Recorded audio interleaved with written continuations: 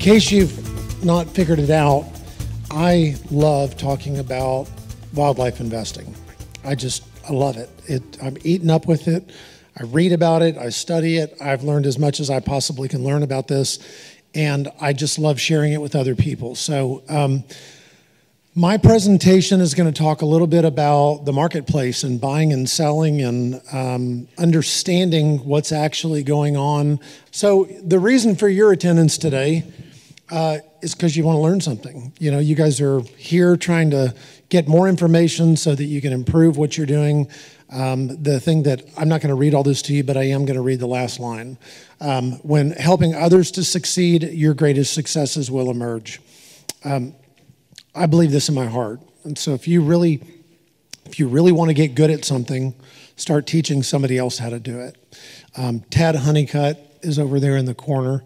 Um, Tad knows how to do something really well. He is responsible for um, the vast majority of all the capture work that occurs on uh, within our company um, externally. Uh, John Bailey handles everything on our ranches. With he and Tad work together a lot, but Tad is in the process right now of creating uh, a, a, team of new and up and coming um, people in the game industry. He's he's building some teams of people that are out catching game, and they are learning the ins and outs. And watching him live into this is really a remarkable thing to watch. Um, and I and I hope that you'll embrace this as well. So as you get better at what you do, like Warren said in the past, people had a tendency of wanting to hoard information. They didn't want to share dosages. They didn't want to share just little things that made life better um, when it comes to catching animals. And I think that the spirit of that has changed dramatically. So I would like to encourage you to embrace that as well. And if you find something useful here, please share it with others. And if you learn something, please share it with us. Okay, so where, where did all of these animals come from? And I don't think that's a question that people really ask often enough. I think we just take it for granted that some Billy Bob Bubba in the oil patch had a bunch of money and flew a bunch of animals here from Africa. At least that's what people in Maryland think. Um, that's what people around the United States think. And when they hear about our industry, they think of these, hi, Ellie, they think about these egotistical people that like shooting animals in a pen and that we've somehow managed to manipulate the government and manipulate Africa to send us these animals. That's, that's really a, a common belief that people have, and it's actually not true at all. So, what, what is true is that most of the founding animals that we have on our ranches today originated from zoos. San Diego Zoo is one of the most significant contributors. San Antonio Zoo in the 50s and 60s was a significant contributors um, contributor, but today, right now, like in 2023, on a monthly basis, zoos all across America are shipping us animals, and they don't admit it. They're not wearing that label openly. They're not embracing our relationship, um, but it is happening. And the reason is they too are struggling with how do they stay in business? They're in the business of displaying animals and selling tickets, and people like to see babies and they don't have the ability to just go import more animals. The, the importation into the United States of these animals is essentially non existent for the most part due to hoof and mouth disease. Warren talked about regulation and he talked about illnesses and things like that. And that plays a huge role in why zoos have been forced to create these breeding programs where they're breeding animals uh, for the purpose of genetic diversity. Well, in doing so, zoos they operate on these postage stamp pieces of property. They don't have room to house all these animals, and so what do they do with them? Well, they send them to us. Like, thank God. Thank God they started sending to us. In the 20s, it, it happened at King Ranch, and then that grew and grew and grew, and now we have all these amazing species. But the story is not over. There's still lots of species that exist in zoos today that we don't have. There's lots of species of hoofstock that exist um, within American zoos that we do not have that we want.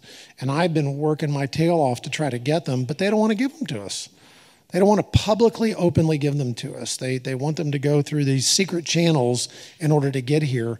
And that's restricting conservation. It's preventing our growth. It's preventing these species from thriving.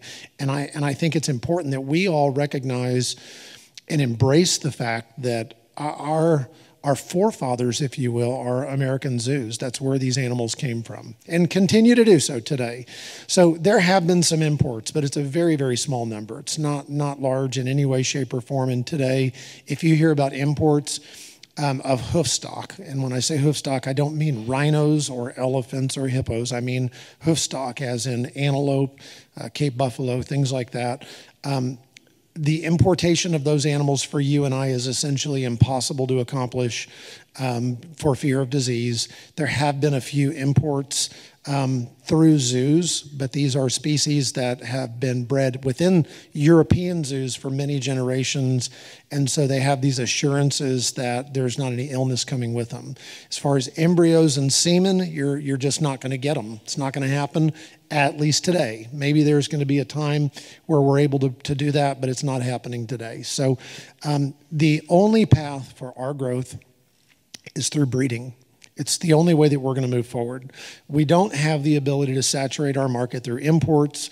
The zoos are certainly not going to saturate our market through sending us animals.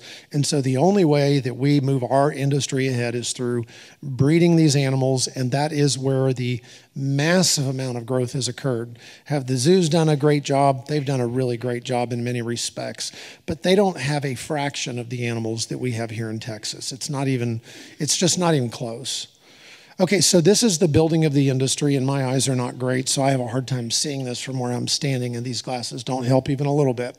Um, the long and the short of it is, is um, if you would like a copy of this, please let us know, and I'll email this to you. But uh, the industry really started in the 1920s or 30s when the King Ranch uh, they were able to acquire some nilgai antelope, and they did so with the purpose of diversifying themselves from the ebb and the flow of the cattle market. And so today, there's free ranging nilgai all over South Texas. Those are the direct descendants of these animals that came from San Diego. You can follow this path through going from 1963 all the way through 2018, and you're going to see where this data came from is that I've been able to identify news articles that exist on the internet dating back many, many years and they talked very specifically about the number of species that existed on Texas ranches. I've also gone into zoo records and I've been able to tear zoo records apart and identify when the first shipment of a specific species came from a zoo into the state of Texas. And so this data demonstrates kind of how our industry has grown. And the, the reason I show this is that when you look at this between 19, I'm just going to say 1963 and let's just say 2010, give or take, there really wasn't a tremendous financial motive for most of the ranchers doing this. It was more of a hobby. It was something they enjoyed doing. It was something they liked from a conservation standpoint. There was a hunting component to it where people, in order to generate revenue, they would sell some hunts and things like that. But the, the vast majority of the people that were involved in this industry, they did it despite the fact that there were a lot of failures. There was very little support. There was a lot of death loss related to capture and movement. Overall, there was a lot of negativity associated with the experience of raising these animals. But because we as people love wildlife and we love animals and we love being able to own them and look at them, even when it hurts, we keep doing it. Even when it sucks some days, we keep doing it. You lose a dog and your heart's broken, and what do you do? You get another dog and you go through it all over again. And so, you know, when you go out and you buy a group of sable antelope and they get delivered to your ranch and four of them die, well, you lick your wounds and you get over it a little bit, and then you go buy some kudu. And then six months later, you're like, damn it, I'm going to try those sable again. And you buy some more sable. And unfortunately, this cycle kept happening again and again and again. And there was not a great mechanism for people um, to trust the marketplace, but they kept doing it. And the point that I make around this is that even when it wasn't great, the industry kept growing even when it was hard and there was a lack of knowledge and there was a lack of help and there was a lack of assistance, the industry kept growing and zoos kept sending us more species. We kept expanding, we kept getting bigger, and we kept getting bigger. You'll notice that there were actually quite a few news articles that were put out. Uh, 60 Minutes did a story in 2012. In 2014, there were some regulatory changes around the three amigos, which were the Addax, the Dama Gazelle, and the Scimitar Oryx. Um, and I can't really see the rest of all this, but the long and the short of it is, is that our industry, there was a there was an economic impact study done in 2007 by Texas A&M, and that was at the request of a politician. And I'm sure there were some private landowners involved in making the request. But the long and the short of it is, is that they estimated in 2007 that the economic impact of our industry at that time was 1.3 billion dollars, and that was a long time ago. And there's been a lot happened since then. There has been an enormous amount of growth in our industry. The volume of people that have gotten in, the number of dollars, and then the almighty inflation has occurred. And I, I don't I don't have any way of quantifying to you what the economic impact of our industry today is, but I, I have no doubt that it's north of three billion dollars. It wouldn't surprise me if it was five billion or more. And so our industry is not just a sleepy little thing that nobody knows about. We're a real thing today. We're, we're a real thing. And when you become a real thing where there's a lot of money moving around, you start attracting the attention of regulation. You start attracting the attention of people looking for low hanging fruit. You start looking for yeah, people jumping into the industry like I did with absolutely no experience whatsoever. And, and you, this, this happens because it's easy money it's easy money, it's fun, it's an incredible opportunity. And so there's a lot of things you need to learn as you go through this. But the final thing that I want to note about this is that in 2018, and again, census data is very, very limited. There's been very little scientific research into this. I happen to have been on thousands of ranches throughout this state. We have caught thousands and thousands and thousands of animals. There are other people in this room that have many more years of experience than I do, and I've called and asked them these questions. How many kudu are there in Texas? How many sable are there? and I've asked lots of questions. And I estimate when you look at super exotics, and I'm not talking about axis and black buck and fallow deer, talking about sable and bongo and springbok and impala, things like that that we classify as supers. In 2018, I assumed there was somewhere around 100,000 animals, give or take in Texas. That number may be way off. It may be spot on, but I think it's relatively close based on the super exotic species in 18. Now, there's been a lot of growth since then, but that, that is kind of a starting number that I'm operating with from a financial perspective in evaluating our market. So there's a lot that's changed in the last 16 months. So the last time we were here and we did this, there was a feeling in the room of, oh my God, where does it turn? Are we at the saturation point? How much further can it go? Like, is this really going to keep going in this direction? Well, animal values have continued to soar across the board in essentially every species that we raise. Today, there are multiple live auctions that have been developed by breeders. And when I say live auctions, I don't mean the animal is running through a ring. I mean that people are breeding animals, they're forming groups, they're spending a lot of money to put on events like this. They are selling very, very high quality, legitimate animals in a very sophisticated manner. And people are, are really getting serious about what's going on when it comes to breeding these species. There's a lot of money behind the advancement of this industry today.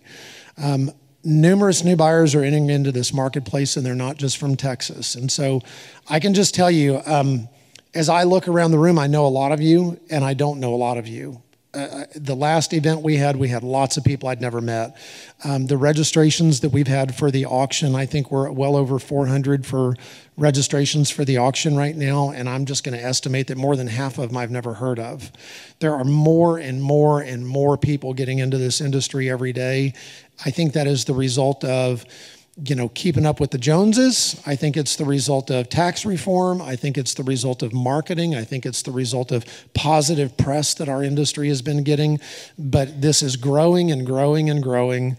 And as a company, we are doing, I think, a really great job of inviting people that don't live in Texas to get involved in the industry. So there's a lot of new people coming into the industry. And this last thing, the financial services community has embraced wildlife as an investment. And so I'll talk more about this in a minute. But this is this is really, really important because the financial services industry is very critical of cons and cheats and thieves. They don't do uh, an open door policy of if you have a cool idea, they're going to sell it. You have to really go through significant due diligence. They're going to dig through your underwear and make sure you're not doing anything you shouldn't do. And then they're going to watch you for a period of time before they actually get behind you. And so our company has been able to climb that mountain and get over those hurdles. And as the result of that, the financial services community today is saying, we love this industry. In fact, we want more of this industry. And it is essentially an unlimited amount of money that is, is willing and capable to flow into this industry provided that we maintain credibility and that we maintain honesty and that we work together to prevent bad actors from getting involved in this and spoiling it for everybody. Okay, investment, the action or process of investing money or profit for, or for a material result. Okay, so this is just a this is a dumb question, but I'm going to ask it with a show of hands. How many people in this room are here because they want to make money raising exotic wildlife. That's not very many. I, I figured it would be more. I figured all of you would. And so I'm not doing this just because I love animals. I love animals, truly. I have two little Pomeranians. They're not worth a shit, but I love them. They're great little dogs. They don't make me any money, and I love animals like I love them, okay? But I, I like making money with exotic wildlife. Like, what a better thing than to be able to do what I love and make money at it. And so I, I um, have aggressively pushed forward this concept that this is an investment. And when I first got started doing this, I had some of the old guard tell me if you want to lose money, then buy exotics. Well, these people have been doing this for 30 years like, well, either you're stupid or you're lying to me. Well, one or the other. That doesn't make any sense. And and the truth is is that these animals, if you treat them like an investment, they will treat you like an investment. If you treat them like a hobby, they're going to treat you like a hobby.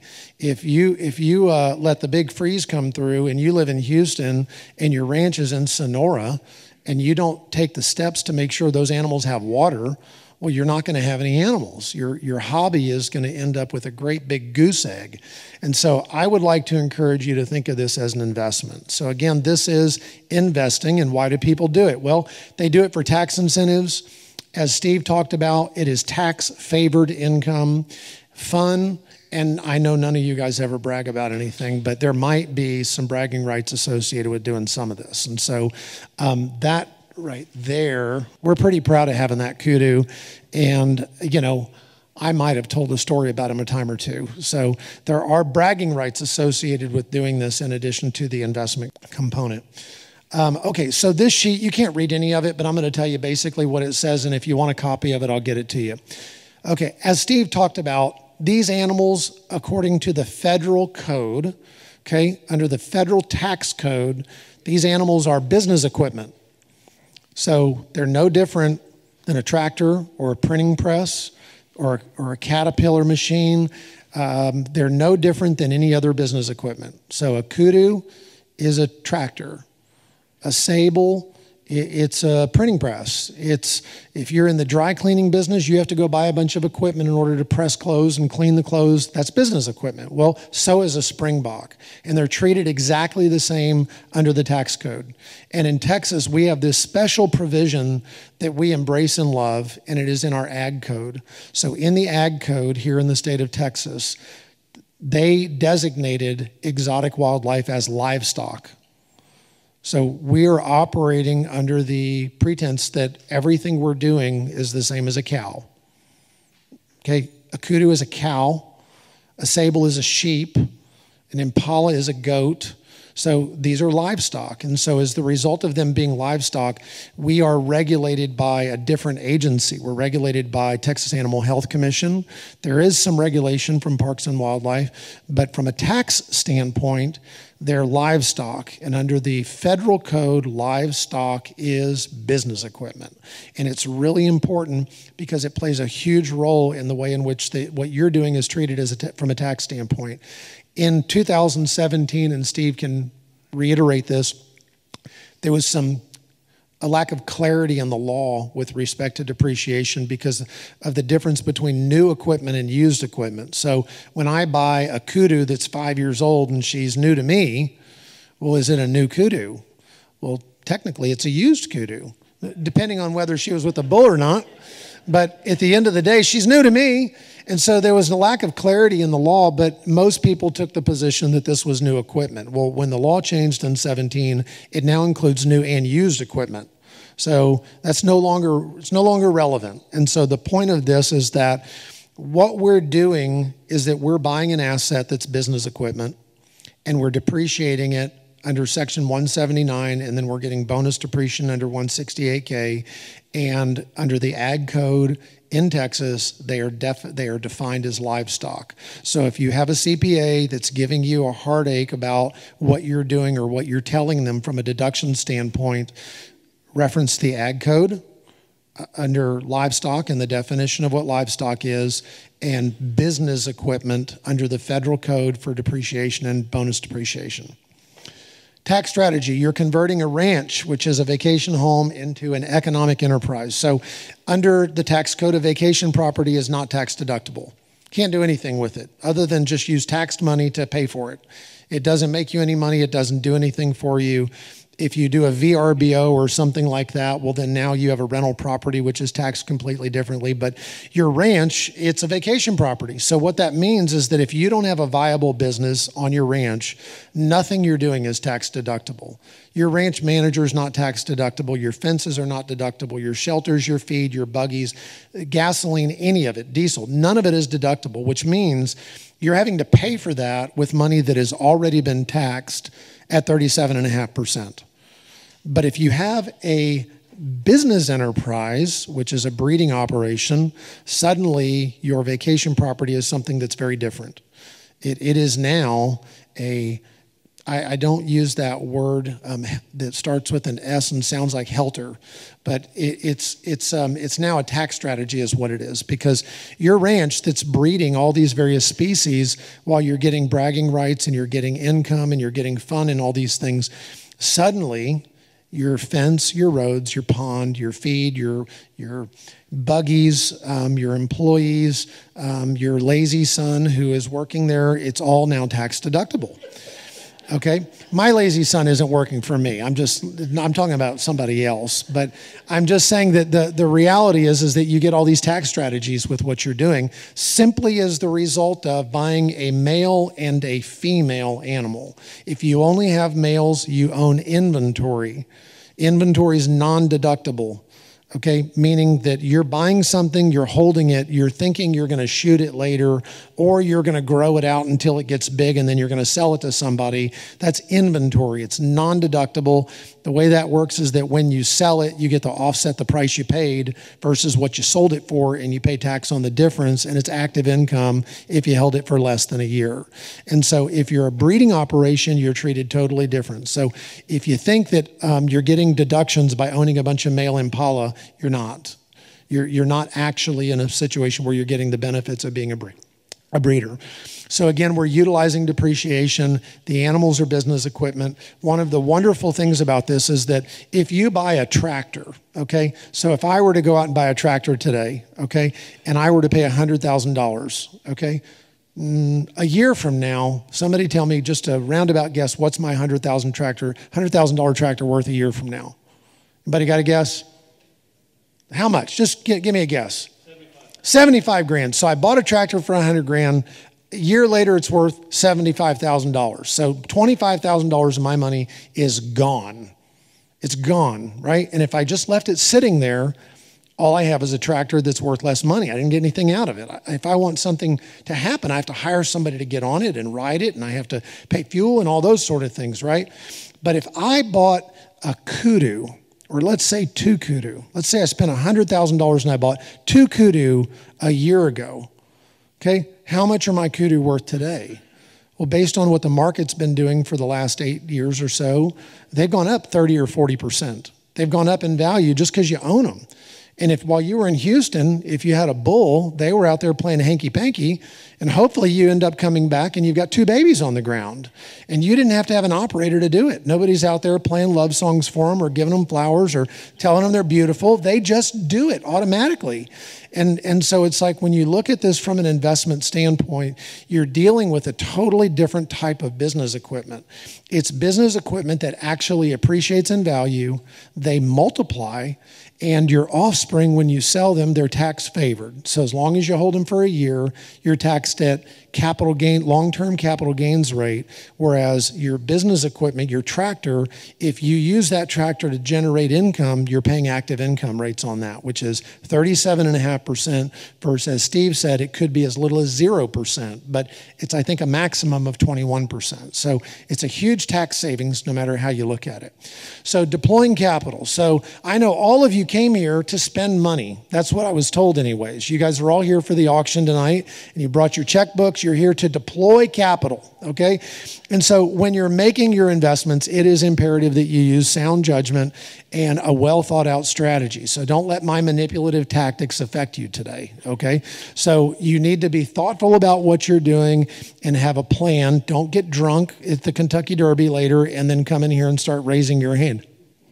Just kidding. Okay, so the fact is, we highly encourage you to develop a plan and be thoughtful about what you're doing. It doesn't mean you can't be careless occasionally. It doesn't mean you can't get, you know, excited and do something at an auction. But when you're buying animals on a daily basis or day-to-day basis, whatever it may be, use your brain. When when you have a million dollars and you're going to go put it in the stock market, you don't just throw darts at a dartboard. You you don't go buy a company's stock because there's a beautiful woman in an advertisement. You, you don't do that. You would never do that. You're very thoughtful about where you put your money. You think very, very thoroughly about how you go about doing this. And if you don't, you're going to lose. And it's no different with exotic wildlife. If you don't think about what you're doing as you're deploying capital, I can guarantee you I can guarantee you, you are going to get taken advantage of. And I'm going to explain to you a little bit how you're going to make these mistakes. So, understanding the marketplace is critical to your success. So, we're going to talk about how you buy animals, live auctions, which are retail okay? And not all live auctions are the same.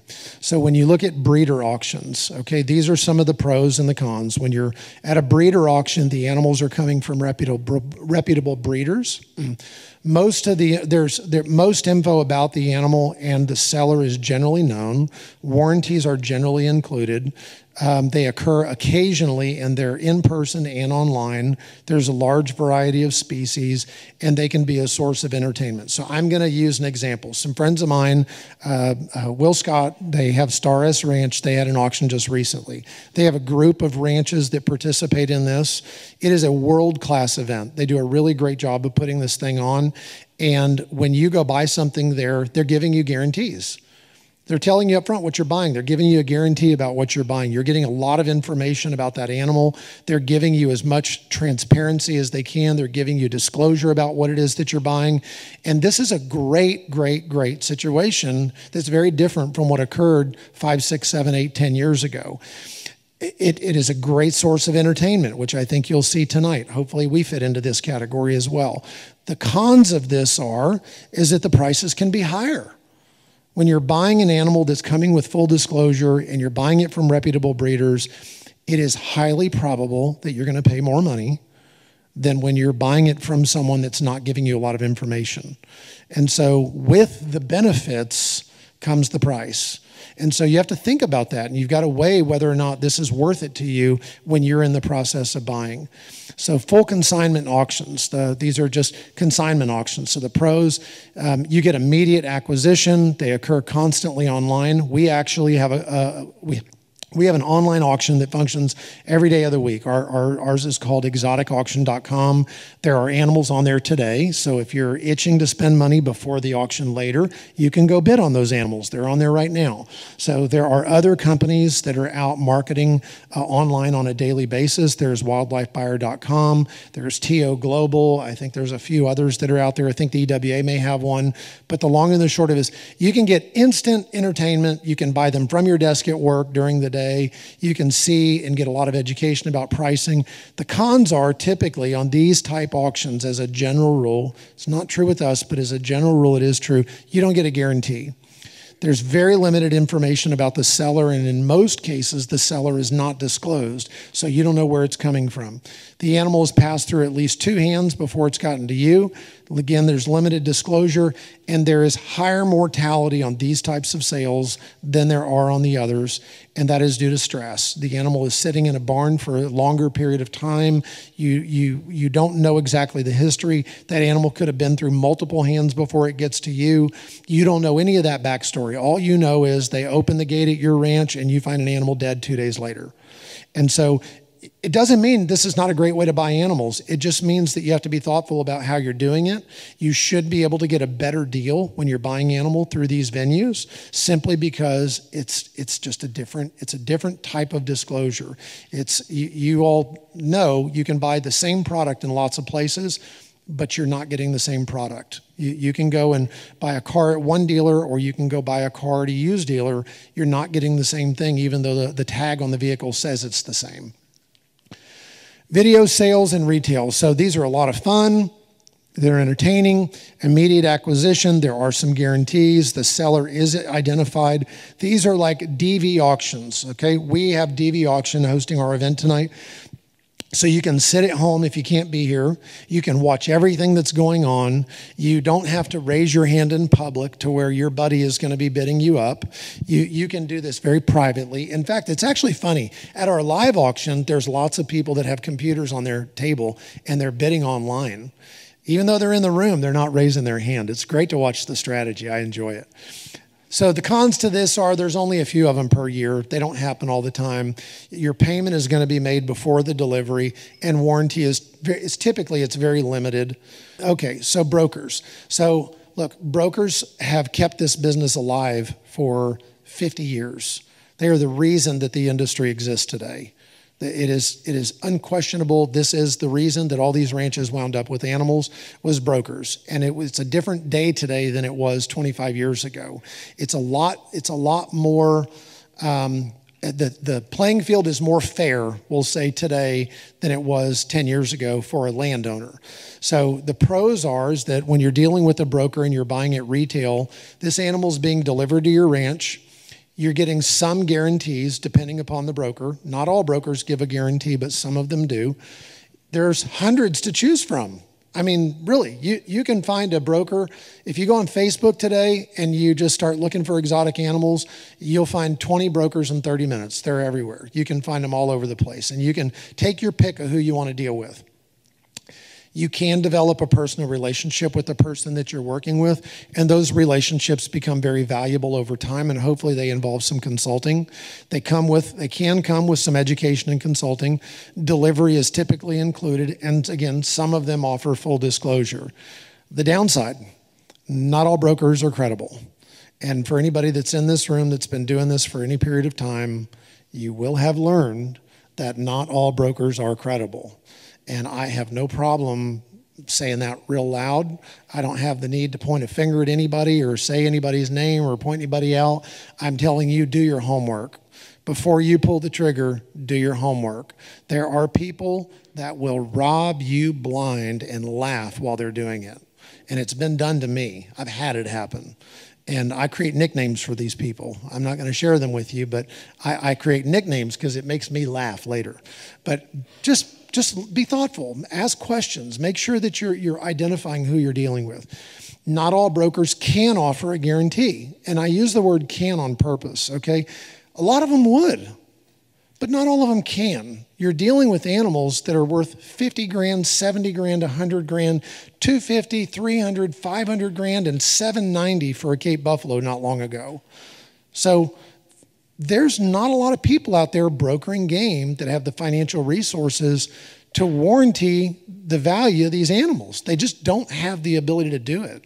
And so you need to ask yourself the question when you're buying these high dollar animals whether or not you're willing to buy them from someone that cannot guarantee them or will not guarantee them. Is it worth going out and buying a kudu for $35,000 from someone that's not going to guarantee it versus 50 from someone that will? Well, that's just a decision you have to make based on the information that you have. I can tell you that there are times I buy animals without warranty. I, I do it all the time, and I don't hesitate in doing it, but the price has to match what I'm buying. And so I would encourage you to think about these things when you're buying. And so, uh, not all brokers are willing to provide animal information, history, health issues, etc. So, as a general rule, if I'm selling you an animal and you ask me where I bought it from, I'm going to tell you. If you ask me what I paid for it, I'm going to tell you. And there's a reason that I'm going to do that. And it's because I'm a capitalist and I'm not ashamed. So, as a general rule, we're trying to make 30% margin across the board. That means that some stuff we make $0 on, some stuff we make a 60% margin on. It just depends on the animal. But I'll tell you, I'm not, I'm not here because this is a hobby or because it's altruism. I'm here because we're building a, a, business, we're employing lots of people, we're growing an industry, we're making an investment, and we want to make money just like you do. And so the people that you're working with, they should make money. If they're, if they're bringing you animals to your ranch and dropping them off, they should make money. There's no reason that they should not make money. It doesn't mean they shouldn't have risk, but if they're not willing to tell you any information about the animal and they're not willing to give you any disclosure about what's going on, I would just take a hard pass. That's just my personal opinion. You can make your own decision, but buyer beware that when you're buying something that does not give disclosure, that violates this principle of investing. When you make an investment in the United States, there are laws that require full disclosure. The SEC requires this, not with animals, but they require it with stocks and bonds. And, you know, if you buy a piece of real estate, you're going to get all the disclosure about that real estate. And it's to protect buyers, but not really. It's actually to protect the marketplace that the government wants us to have sound marketplaces to encourage investment.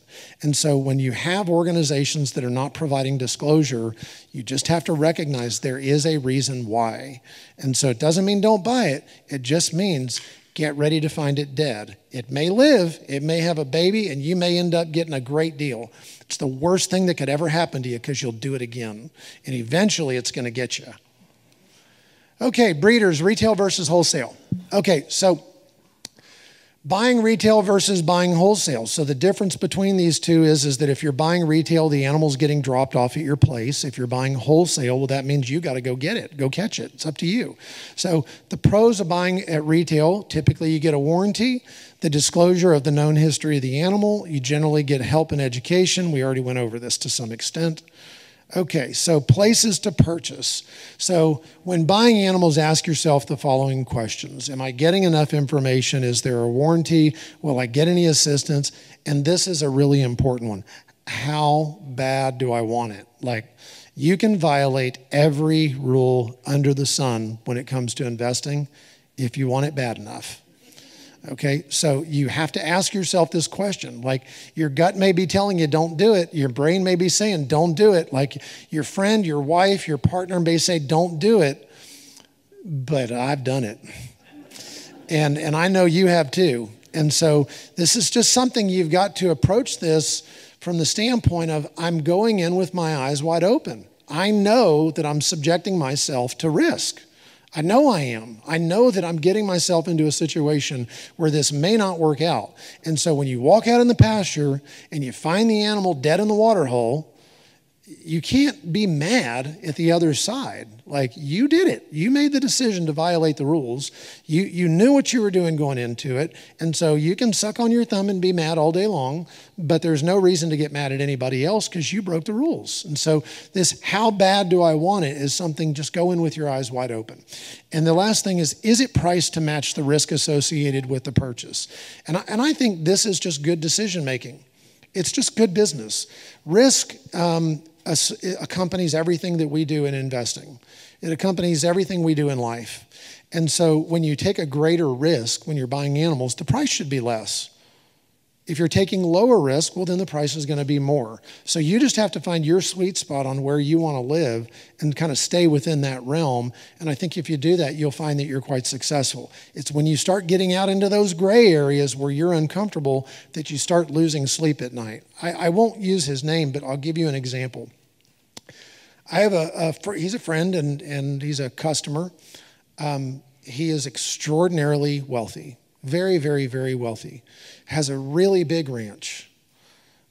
He can't sleep at night if he has a kudu female that's out running on his ranch.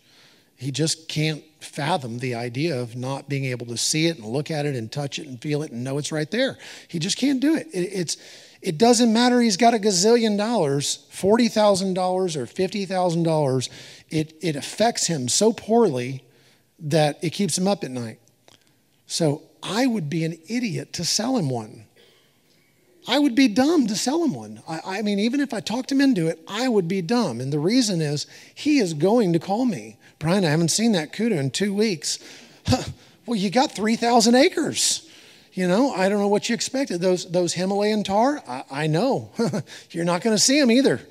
And, and so the deal is, is like it's, I have to be thoughtful about what I'm doing as I'm going through this process because the last thing I want to do is put somebody in a situation where they're uncomfortable. And if you're selling your animals to somebody else, just it's not worth the money to sell somebody something that's going to cause them and you grief later on.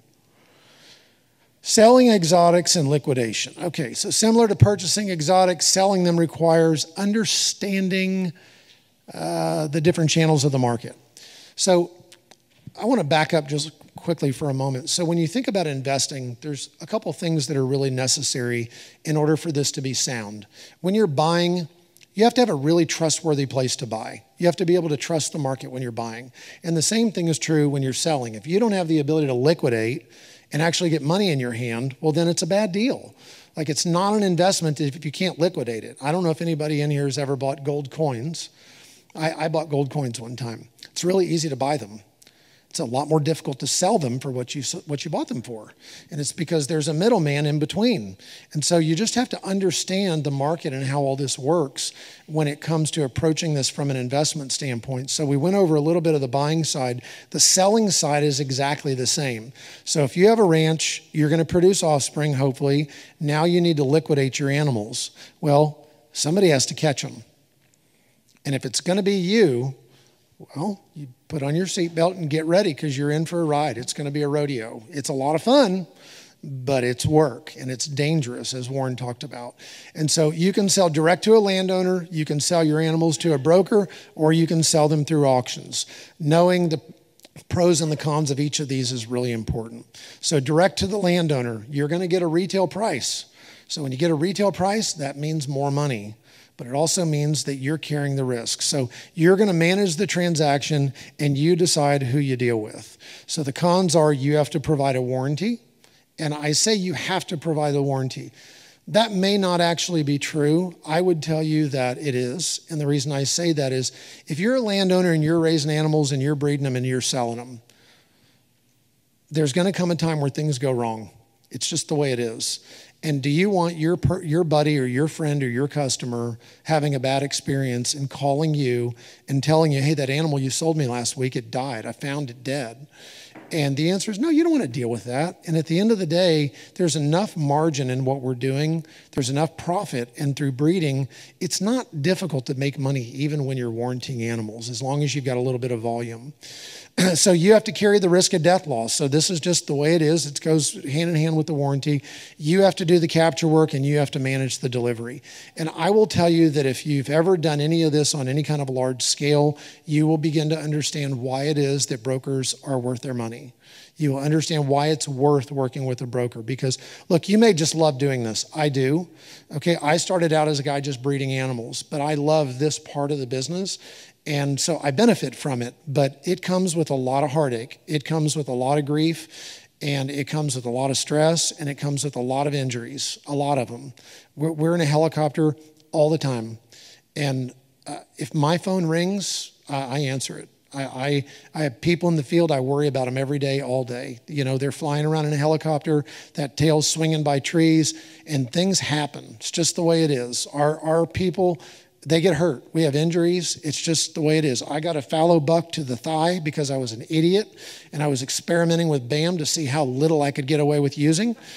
And I can tell you, I was stronger than that fallow buck for a little while. And I was stronger with him while he was trying to get away. But the minute that he decided to kick my ass, I was not stronger than him. And he put his brow tine straight into my thigh. And I'm very lucky to be standing here today. The, the antler went directly in my thigh, right by my artery. And fortunately, I just ended up with a puncture wound. But if you're going to do this side of this, buy a good first aid kit because you're going to need it. Brokers wholesale. The pros are they do the capture. They come do this for you. They make your life a lot easier. You can make them carry the risk of death loss. They should be able to make enough money selling your animals into the retail market that even if something dies, they still make money. That they should. You should give them enough margin. When they're buying your animals, you should give them enough margin so that if something goes wrong, they don't lose money. You don't want them to lose money. You want them to be able to survive and do this for a living because they provide a great service. And so in this in this situation they carry the risk, but you have an obligation to make sure that there's enough margin there for them to be able to do it. They manage all the deliveries. I'm sure you don't want to drive until two o'clock in the morning delivering out to San Angelo or West Texas, and you don't have to provide a warranty. They they handle all that. The cons are somebody's going to be on your property. You have the risk of non-payment, bad checks. You didn't get the wire. They said it was coming and it's not. Um, you have the risk of accidents. You're only going to get paid wholesale prices. Some of the brokers either refuse or cannot carry death loss. So again, this is all manageable. Warren talked about contracts. We use contracts with what we do. So it's all manageable as long as you communicate your intent and what you're wanting. If you understand the retail market and you understand the wholesale market, you can craft a deal that is fair for a broker and you can eliminate a lot of the risk that you would be taking otherwise and I'm not telling you which way to go because everybody's got to make their own decision about what's best for them. But at the end of the day, there are ways to mitigate risk while still maximizing your gains. Auction, these can be below retail, above wholesale. So the pros are you can get really high retail prices. So if you're selling animals at auction, uh, my good friend here, Colby, he's sold some animals at auction and he has seen the benefit of doing this. Uh, you've had some surprises where it's like, wow, like, can we do that four more times? And that's the benefit of an auction is that magical things happen in auctions. And people say, there's no way that's real. I can tell you it's real. I've watched it with my own eyes. I've seen the checks change hands and the animals get delivered. It is real. When you see a price at an auction and it's astronomical, I'm telling you it's real. It's not fake. And it's the result of a buying frenzy. It's the result of how bad do you want it. And that's just the way the market works in these live auctions. Um, okay, so you don't necessarily need a warranty at these um, when you're selling them. Some of the times you do, it just depends. And you can have anonymity if you're selling at a live auction if you want it. I don't like it, but you can have it in some cases. The cons are you have to capture the animal, you're going to have to pay a commission to the auction house, and the downside is your animal may not bring anything. You may not have a buyer there that day. It may not work out very well. And the animal you thought was going to sell for 10 grand may only bring four. And it happens. And you have the right to PO that animal and not sell it, but it's disheartening. It's frustrating. You had the animal, you wanted it to go, and it didn't work out. So these are the pros and the cons there. Purchasing and liquidation summary. Okay, the following, these are critically important, as I said. Understanding the difference between wholesale and retail. Always ask the question Always, when you're buying an animal or selling an animal, always ask yourself the question what is wholesale and retail? Find out what the market is. Just ask. If you want to know, ask us. We'll give you the information. I'll give you pricing for the last five years if you want it wholesale and retail. We keep this on every species that we work with. And so it's really important that you know this. Making choices based on convenience, risk tolerance, and investment strategy, deciding if a warranty and disclosure matters to you, determining who is responsible for death loss. And to sum this up, there is no best case scenario for everybody in this room. It is purely based on your individual preference. It is purely based on what you want to do. But knowledge is what is going to help you to be successful. And if you manage this correctly, it will work out well and you'll get better at it over time. But just don't go in blindly buying animals off the back of a trailer because some guy called you or messaged you on Facebook. Be, a little more thoughtful about what you're doing because otherwise you're going to be the guy telling people, oh, well, if, if you want to lose money, then buy exotics. It's, it's absolutely not the case. Okay, market performance. I'm going to try to buzz through some of this pretty quickly here. So, 18 months ago, man, there's just no way this can keep going. Well, that last blue line that you see there, uh, that is since our last meeting. So, I'm not going to go over all these, but these go back, um, I believe this is 2012 through 2022 we are continuing to see massive increases in prices across the board on every super exotic species that exists. It's just, it is the way the market is. I'm going to try to tell you why as quickly as I can. This is a typical investment performance. I can email these to you. I'm going to run through it real quick. You buy one male, five females. 10,000 on the male, 80,000 on the females. You got $410,000 invested. Your, your offspring per female, okay, is uh, per female is one. So the total offspring at an 80% rate is four. You got five mamas, 80% calving rate, you get four babies. Follow me on that? Okay, you get one, two males and two females at wholesale, not retail, but at wholesale. You see, you paid 80,000 and 10,000. Now you're selling them for 70 and 60.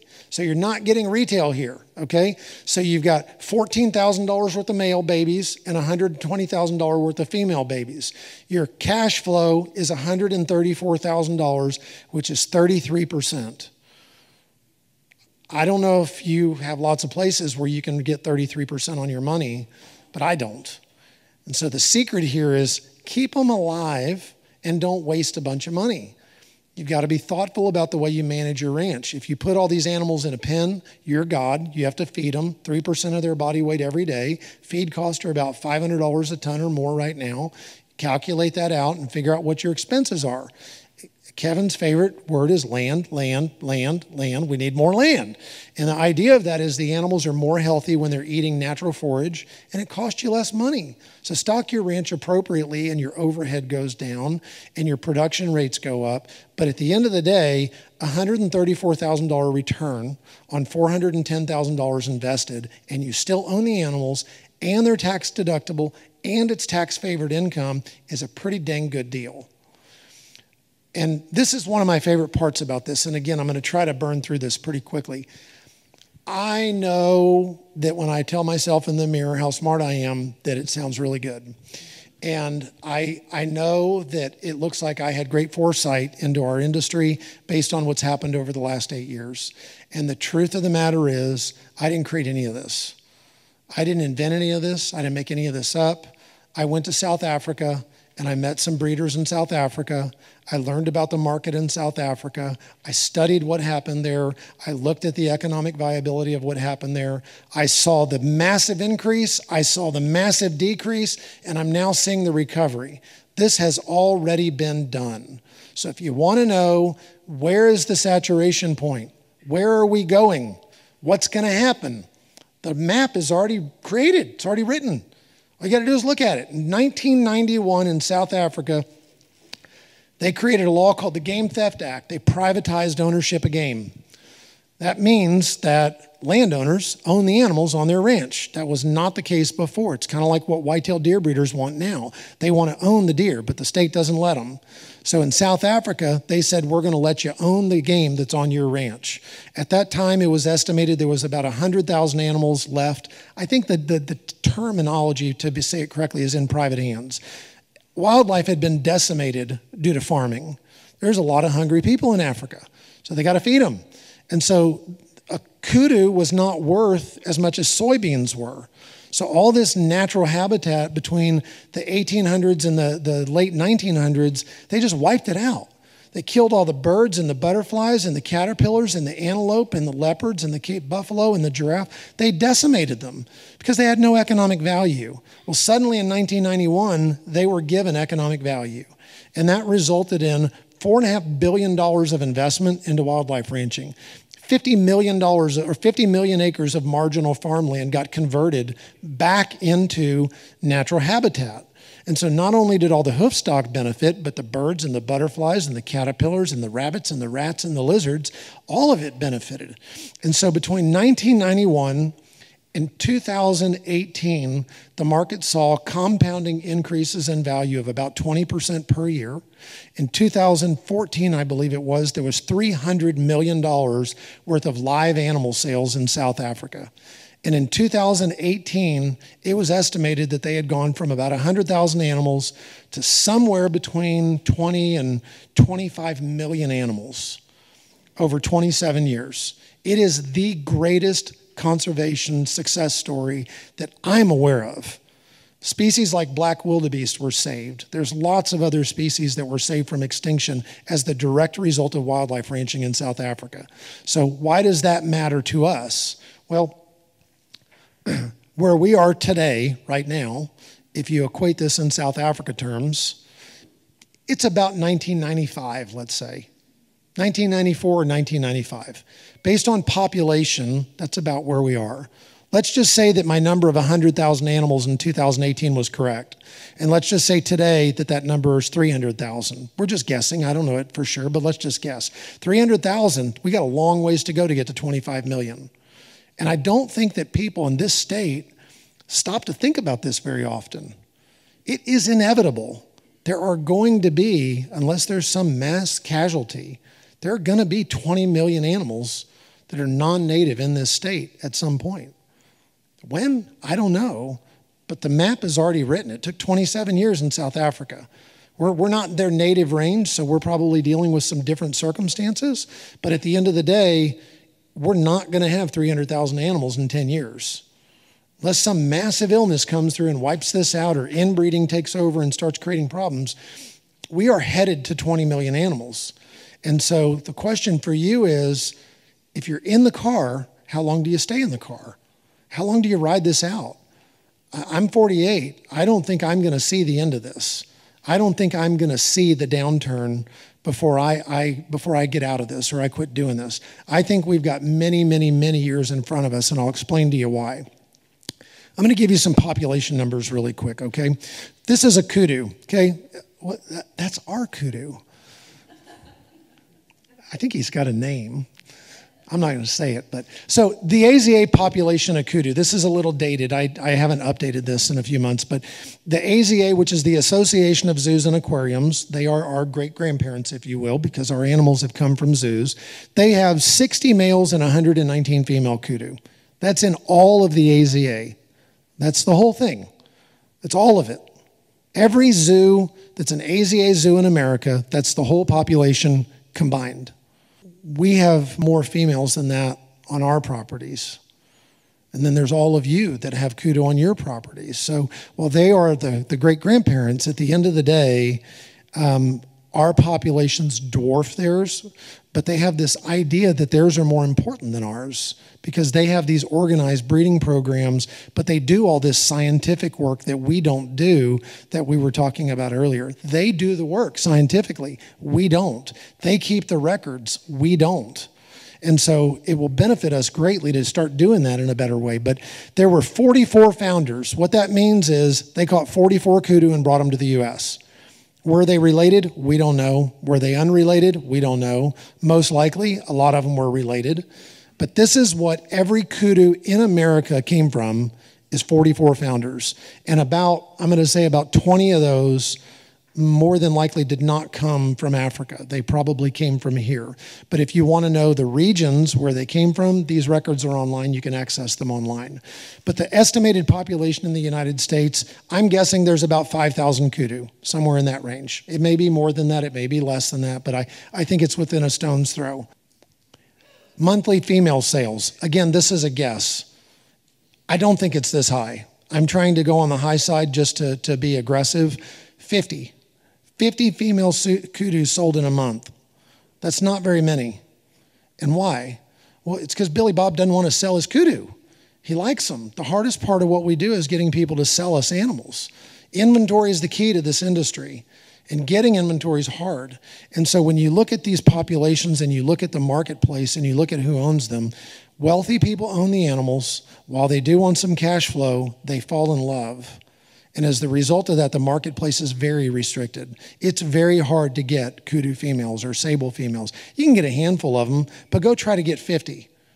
You're not going to get 50 very quick. It's going to take you a while to get there. And so it's a very limited marketplace as it relates to um, available high quality animals.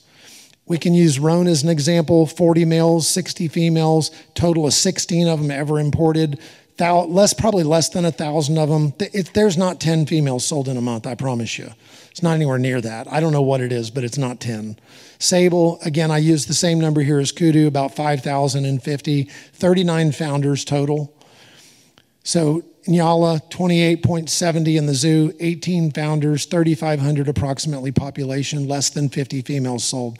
So when people talk about genetics, I always, I get a kick out of this. I'm not a geneticist. I don't know squat from what Dr. Durr you know knows about genetics but i always love it when i hear people say oh we got great genetics in ours. We have great genetics. I'm like there's 18 of them that were ever imported. You know, we all have we all have pretty similar genetics. They're just a little changed up and watered down here and there but at the end of the day there's not a lot of diversity in these populations.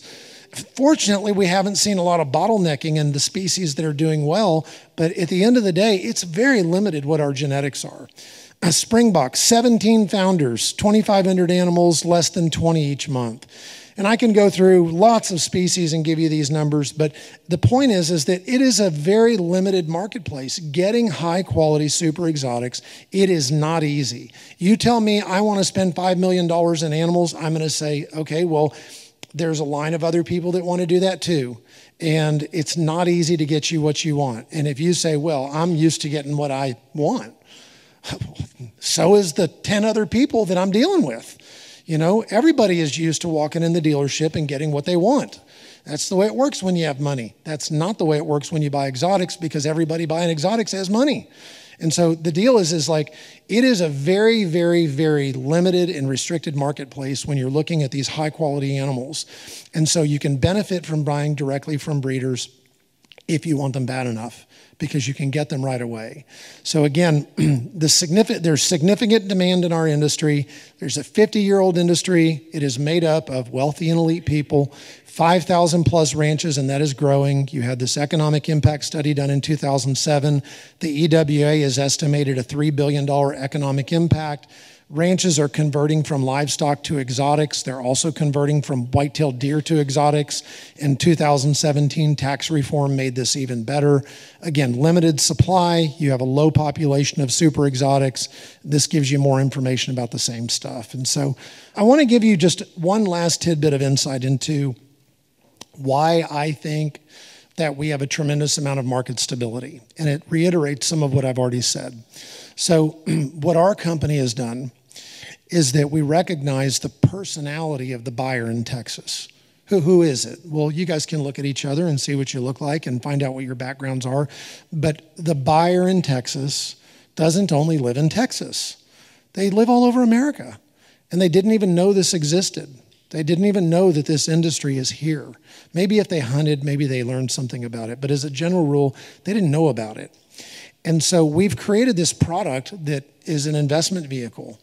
And this investment vehicle is structured as a tax strategy and an invest it's a it's an income producing investment and every single one that we've done since 2016 is making money all of them so I'll give you one example. Okay, this is our best example, and then I'm going to give you another example. Cape Buffalo. We bought Cape Buffalo in 2017. Two and a half million dollars is what we spent to buy those Cape Buffalo. Net of all fees, of all expenses, I think the total distributions to the partners that bought that investment on two and a half million invested, I think they've gotten back somewhere in the range of six and a half or seven million dollars of cash. That's deliverable cash. That is not a tax write off, that's cash.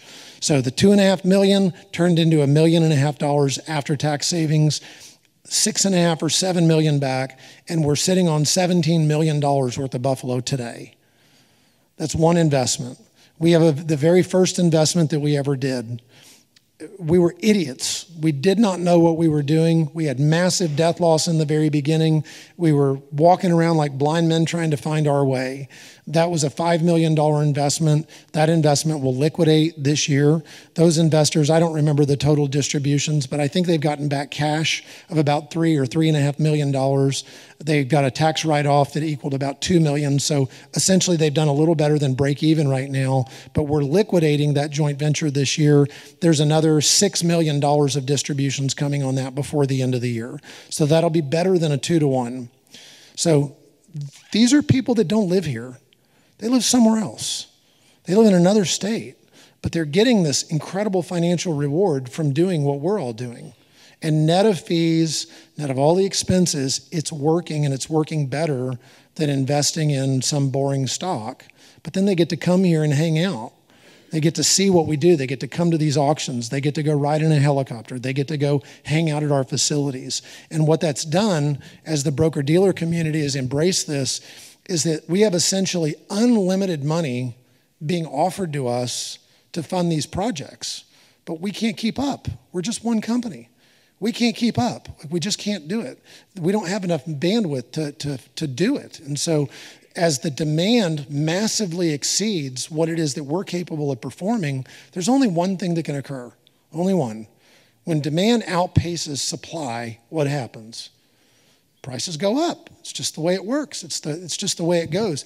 And so what we've done is that this year, um, we'll add about, I'm going to say between 30 and 40 million dollars worth of buying power into the state of Texas from external sources.